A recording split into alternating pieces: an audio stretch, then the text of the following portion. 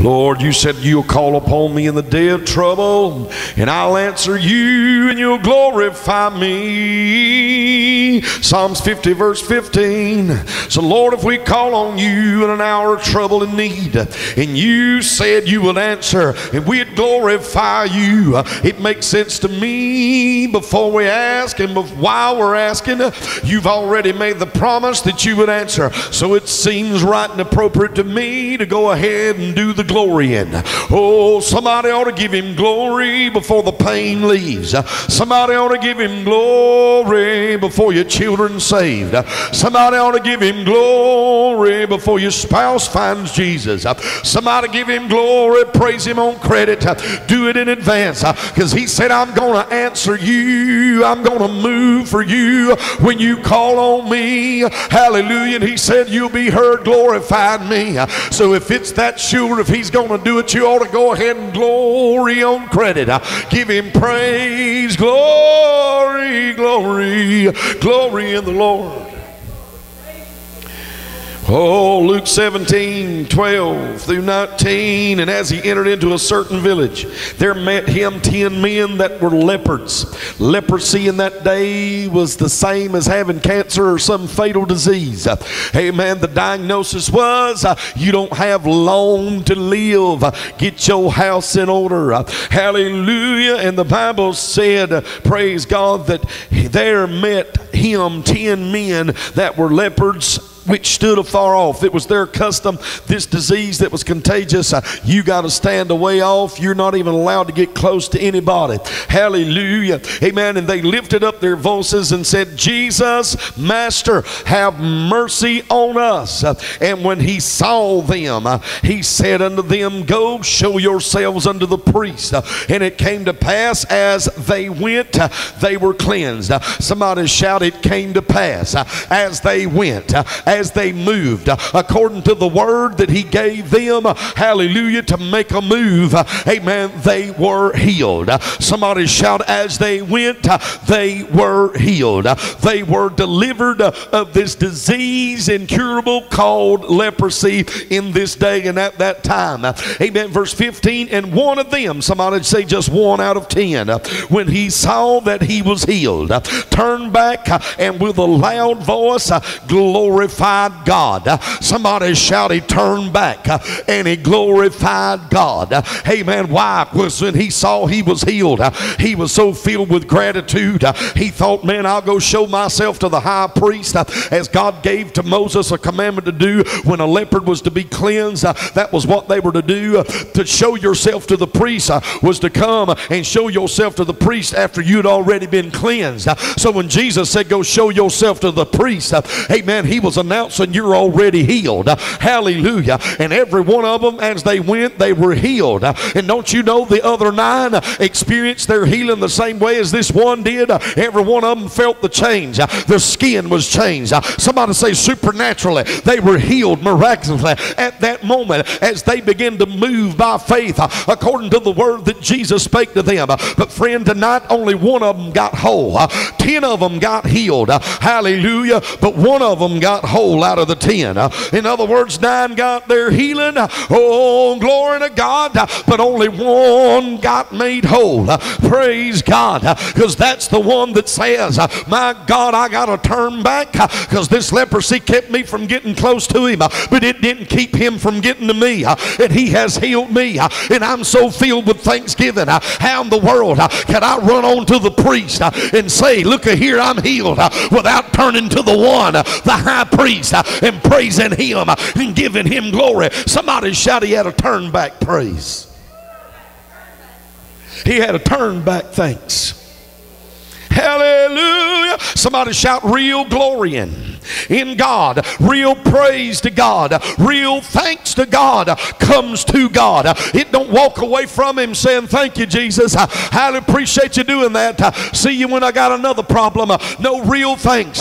Says, I got to come to Him. I got to fall down at His feet. I got to live for Him. I got to be where He's at. It ain't enough to just know He gave me a miracle. Hallelujah. I want Him. I don't want just His miracles. I got to have Him.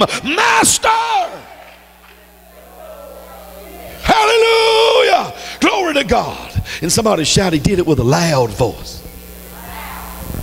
Praise God. Next time you read that, you ought to read it this way. And one of them, when he saw that he was healed, turned back and with a loud voice glorified God. Look at your neighbor and say, if I get too loud for you, it's because of what he's done. I can't keep quiet. Look at your neighbor and say, next month we're going to be singing Silent Night, but we ain't going to get silent in the night. Come on, somebody. How in the world was that a silent night? Angels singing from above. Praise God.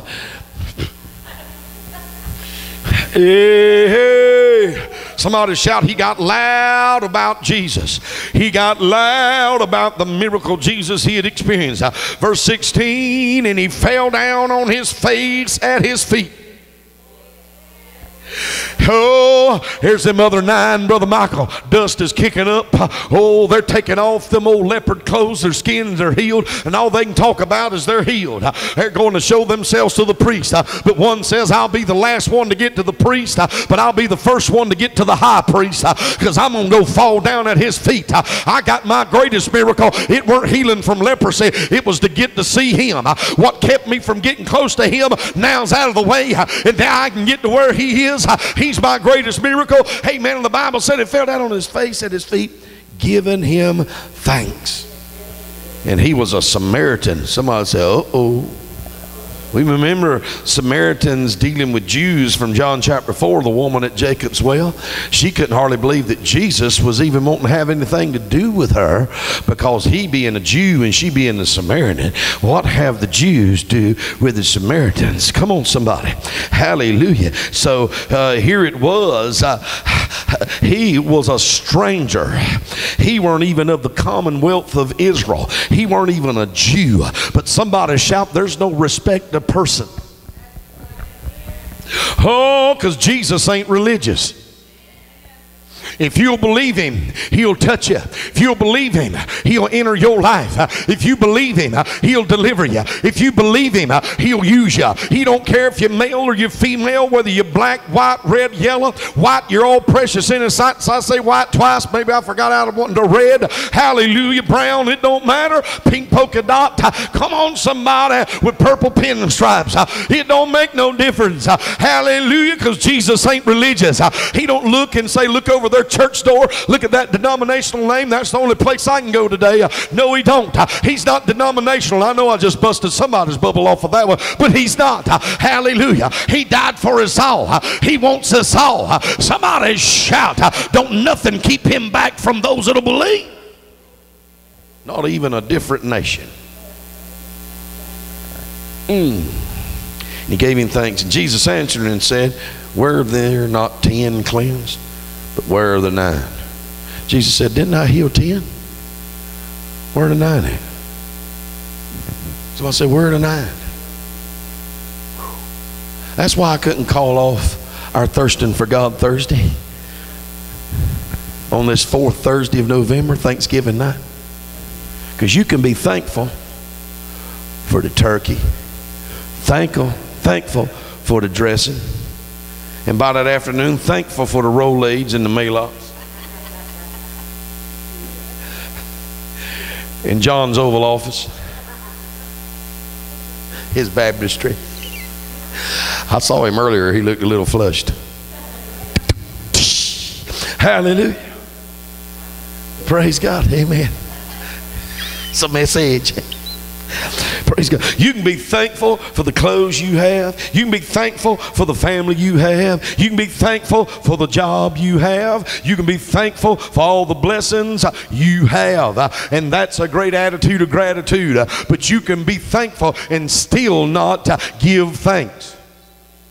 Because thanksgiving is directed to one God Almighty. Somebody shout to God. So if you ain't gave him the things, you can run like this night away from him, talking about, glory to God, I'm thankful that God did this. I'm thankful that God did that. That ain't thanksgiving to him. That's just you're thankful what he did. But this one, hallelujah, turned back out of the ten and fell down at his feet and gave him glory and gave him thanks. That's thanksgiving. Come on on, somebody. That's why. How dare could I even omit tonight when this is what it's supposed to be about to begin with?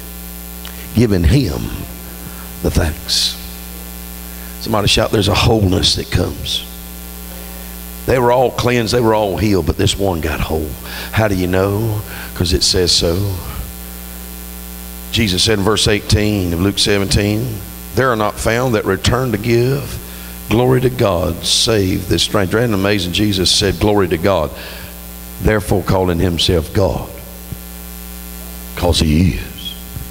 He thought it not robbery to be found equal with God. Amen. Philippians 2, verse 9. Somebody say, God in the flesh. Jesus. He said, This stranger, he was talking about him being a Samaritan.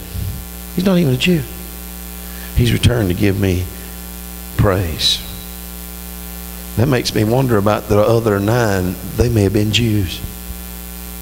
You'd have thought they'd have known how to praise. Let's get common with it. That was the church crowd. It took a stranger to show us how to really praise Him. Sometimes it takes a stranger because the holy becomes common to some of us sometimes that are accustomed to doing this. Sometimes our praise, come on somebody, is just outward and don't come from the inside. God had to use a stranger to show him how to really praise him. Somebody say turn back praise, turn back thanks. And he said unto him, Arise, go thy way. Here it is. Thy faith has made thee whole. He did not say to the other nine, Your faith has cleansed you. Though they surely had faith because they cried out, Jesus, Master, have mercy on us. But the only one he made reference to their faith was the one that come back and gave him thanks. And he told him, he told the one that was already cleansed, Your faith made you whole. You know what that means? He never had leprosy again. There's a thanks tonight. There's a turn back thanks tonight. When you give it to Him, the thing He delivered you from, you won't never have to deal with it again. Kind of like with Moses in Exodus 15 and 13, God told Moses, You will not see this enemy henceforth no more forevermore. My God, Psalms 9 and 6, O thou enemy, your destructions have come to a perpetual end. Somebody say, There's a thanks a turn back thanks that causes whatever enemy that's attacked you or yours to not only be invoked, come on, somebody, not only praise God to be evicted,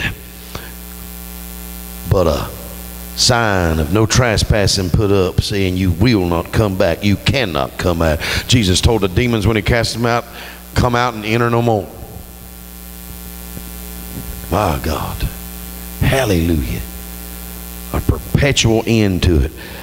That man never had to deal with that leprosy again. Now, I don't know about the other nine, but all I know, only one out of ten got whole. Because that one realized the one that had healed him, and he gave him thanks. He come back to him. God, there's people watching tonight that need to come back to you. You need to, if you want to get whole, that means spirit, soul, and body, you need to come back to Him. If you're under the sound of my voice, you need to return back to Him. Because the man didn't just say, Thank you, Jesus. He fell down at His feet on His face. That means He surrendered. You've not really thanked Him until you've surrendered, until you've come back to Him. And Lord, tonight we've come back to your house on this Thanksgiving Thursday to say thank you. To you be all the praise. We've done as Ezra 3 10 and 11 says when they rebuilt the temple. Lord God, they took a break and began to sing praises and give thanks unto God as with one voice, with one chorus. Lord, they had laid the foundation. And Lord, they put down their tools and they got up some praise and thanks and sang unto you by chorus and sounded like one voice because they knew if they had the foundation laid, the God they served would finish what He starts. Lord, we've come in here tonight to take a thanks break. like they did in Ezra 3. We just come tonight on this Thanksgiving night, hallelujah, to take a thanks break because the God we serve, Jesus, He starts a work and He finishes it. Uh, if He's laid the foundation, He's going to finish what it starts. Uh, be confident in this one thing, brethren. He that began a good work in you uh, shall perform it unto the day of His Son Jesus. Philippians 1 6. God, that just simply means you'll finish what you start. Hallelujah. Whew. Brother, I just can't help it. I got to speak to you, Father, right here. God says, I'm going to finish what I've started. Hallelujah. I will finish what I have begun. And the way I say it to you is what I have begun. I will finish what I have started because it was I that gave it to thee. It was me that began it, and I will finish what is mine. Somebody say that sounds like unfinished business. Mm, I'm telling you, heaven ain't running out of business, ain't going out of business. Heaven's in business. And if you about his business, you take care of your business. Somebody say your business. Hallelujah. Lord, we thank you tonight and we give you all the praise.